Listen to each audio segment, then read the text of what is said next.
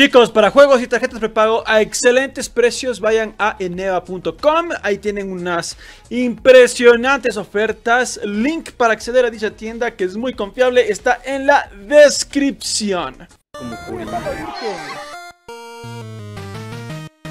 Hey chicos, mi nombre es Kenk, sean bienvenidos a un nuevísimo Kenk News, segmento del canal donde repasamos noticias del mundo gamer.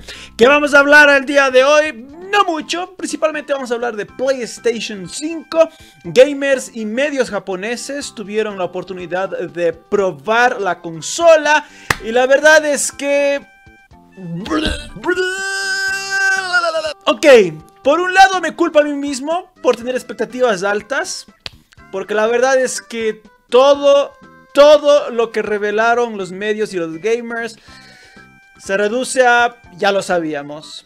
Ah, mira, que la consola es que es veloz, ya lo sabíamos. Ah, que la retroalimentación áptica, ya lo sabíamos. Que los gatillos adaptivos, ya sabíamos. Todo lo que se mostró ya sabíamos. Lo único novedoso, entre comillas, es gameplays de juegos de PlayStation 5, como Godfall y Astro. En ese aspecto diré, esto estaba más dirigido al público japonés, así que me imagino que esa era la estrategia. Pero comparado con lo que Microsoft ha estado haciendo aquí en Occidente, que hace una semana mandó a medios, a influencers, consolas, para que pues prueben juegos, hagan video, etcétera, etcétera, etcétera. Lo de Sony es completamente inferior. Eso vamos a decirlo. Pero de todas formas, ¿qué se mostró? Vamos a hablar de eso en este video. También vamos a hablar de Spider-Man. Vamos a hablar de Monster Hunter, la película. Dos pequeñas noticias que quise colarles en este video. Sin más preámbulo, empecemos.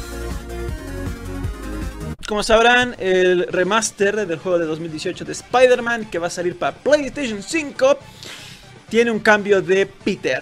Ok, y miren, Bran, yo soy de los primeros en admitirles una cosa, el cambio no me gusta. Ah, me pareció innecesario, me pareció como que... Mmm, que te des cuenta de estos problemas antes, etcétera, etcétera, etcétera. Pero, aún diciendo que tienes derecho a, decir, bueno, pues estos cambios eran... llama la atención que el director creativo de Insomnia Games no hay justificación para esto, ¿ok?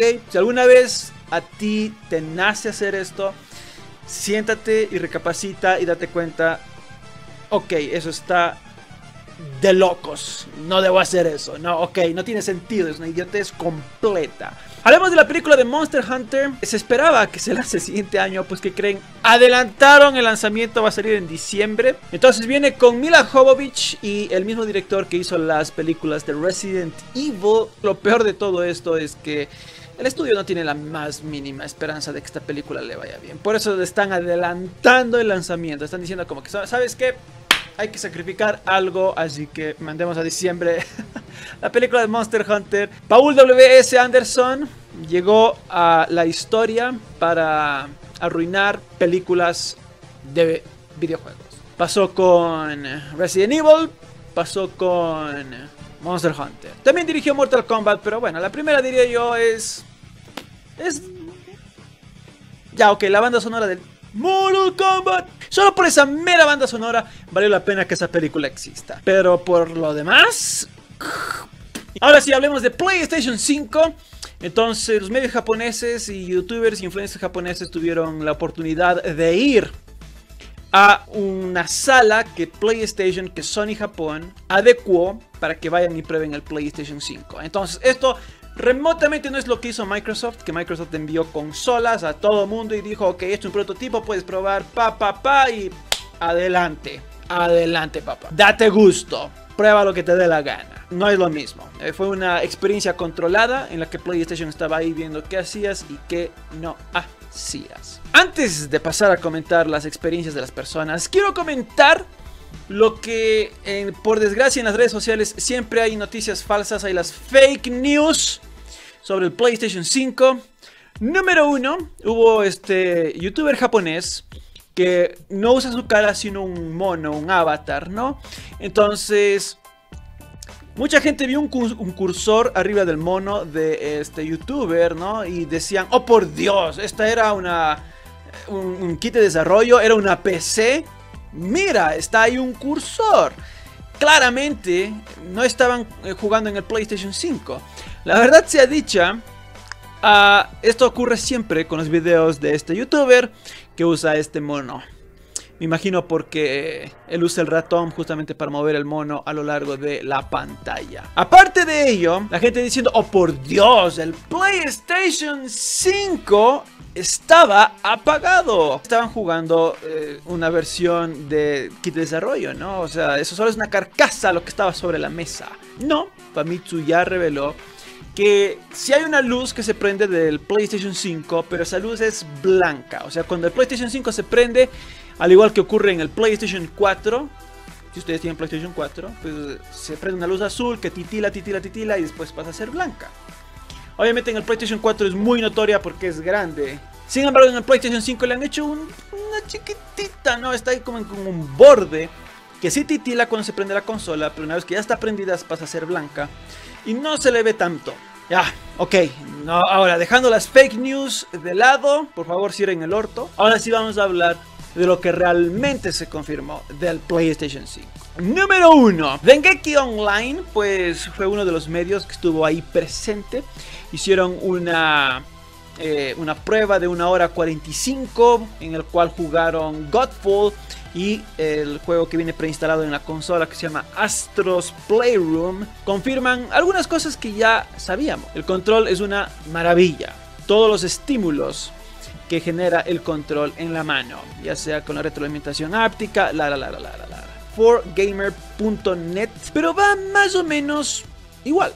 Una de las cosas, sin embargo, que sí se nos confirmó con respecto del PlayStation 5 es que el DualSense tendrá como que unos LEDs por debajo y estos LEDs indicarán eh, qué número de control es. Entonces, está uno prendido, es el 1. Si están 2, es el 2. Si está 3, es el 3. Es el control 3. Si está 4, es el control 4. Tenemos aquí otra imagen un poco más de cerca. Otro de los medios es Famitsu, como les había comentado. Y este quizás nos trajo el bombazo. El bombazo de la presentación. En Japón, el botón X pasa a ser el botón de acción. Y el botón círculo pasa a ser el botón de cancelar. ¡Oh! ¿Qué? ¿Qué significa? Ya saben, en PlayStation desde el 1 acá en Occidente, si tú entras a un menú, cualquier juego, aplastas X para abrir algo, pum, se te abre un submenú, qué sé yo. ¿Quieres cancelar? ¿Quieres ir para atrás? Aplastas círculo. En Japón era la inversa. En Japón aplastabas círculo como botón de quiero entrar aquí, quiero accionar esto y X para decir no quiero cancelar. Brutal bruta esta noticia, pero explota cabezas, explota totalmente. Game Watch, otro medio japonés, estuvo pues haciendo sus impresiones y nos trajo algunas cosas que podrían ser algo más novedosas. Aparentemente Godfall va a ir en 4K nativo y a 120 frames. Eso sí, cabe destacar que por alguna razón Godfall va a costar 60 dólares en PC y en PlayStation 5 70. Epic que en teoría es el mismo juego. En teoría la versión de PC va a correr mejor. ¿Por qué diablos nos están cobrando más en PlayStation 5? O sea, Sony anunció para sus juegos first party que iban a cobrar ellos más. Este ni siquiera es un juego first party de PlayStation. Es un juego que también está saliendo en PC. ¿Por qué diablos le están cobrando más billete? Ahora, si quieren tener casi como que un resumen de lo que revelaron los medios japoneses, pues Diverge hizo una compilación de información para aquellos que querían ver la interfaz del usuario, el UI, pues no se dio. La user interface, la interfaz del usuario no se dio. Eh, la gente solo prendió el PlayStation 5, estuvo ahí jugando y nada más. Entonces, aparte de todo lo que ya he comentado, ¿qué más se reveló de PlayStation 5? Aparte del DualSense, que los gatillos, que la retroalimentación áptica, que ya se ha comentado toda la vida. A los gatillos, pues si es que es una pistola, si es que es un arco y flecha, la resistencia es diferente. A la retroalimentación áptica, si es que el personaje, el carro, qué sé yo, está sobre arena, vas a sentir diferente. Si está sobre pantano es diferente, si está en agua es diferente, la vibración, etcétera, es maravilloso, estimula los sentidos, como dijo un medio por ahí. Ya sabíamos todo eso. Aparte de ello, lo único que se confirma es que es una consola veloz, es rápida, lo cual ya se esperaba, pues porque tiene una unidad en estado sólido. Y asimismo, también se confirma que es silenciosa. Al menos eso. Al menos eso se confirma. Múltiples medios dicen, nuevamente ahí jugamos una hora, una hora y media, algunos casi dos horas, y no hacía la menor, eh, el menor ruido. Entonces, chévere. A ese aspecto diré yo, ok, porque al menos de esta generación, el PlayStation 4, el FAT, ah, parecía una turbina. Le metías un juego, qué sé yo, un God of War, un The Last of Us, pucha, y empezaba a sufrir la consola. Veremos si a lo largo de la generación quizás haya juegos que le empiezan a hacer sufrir al Play 5. Esperemos que no. Pero casi que a esto se resume lo que nos dicen los medios japoneses. PlayStation asimismo invitó a influencers para que hagan sus comentarios sobre la consola.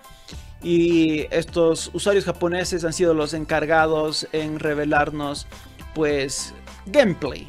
Casi que información novedosa no tanto, mayormente solo han estado revelando gameplay.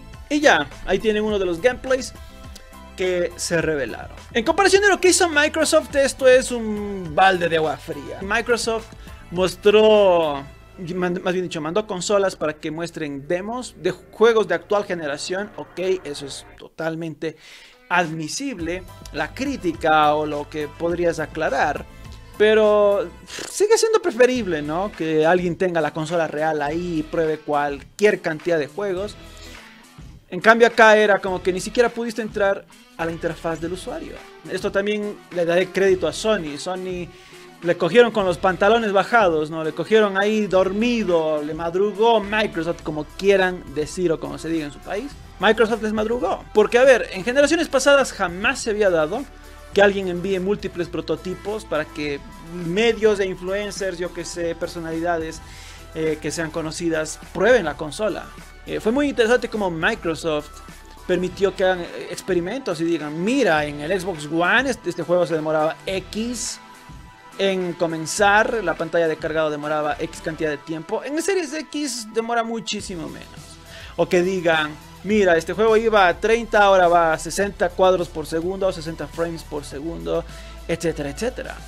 Entonces, eh, eso permitió que inclusive los influencers, los medios, jueguen un poco con la consola y hagan experimentos y esos experimentos resultaron en contenido bastante interesante. En cambio aquí fue como que, mm, ok, llegamos, jugamos, capturamos lo que Sony nos dejó capturar y ya, y ya. En fin, de todas formas, la nueva generación está a poco más de un mes. Poco más de un mes. Veremos la verdad cómo les va a las consolas de lanzamiento. Estoy casi seguro les va a ir súper bien a ambas. Puede que una le vaya un poco mejor que a otra, pero la cosa es que creo que sí les va a ir bien a ambas. De todas formas, muchachos, déjenme saber ustedes en los comentarios qué les pareció los videos y las impresiones de los medios japoneses con respecto del PlayStation 5. Sé cuál es su opinión, espero verla allá abajo. No se olviden de suscribir, no se olviden de comentar y nos vemos conmigo en el siguiente.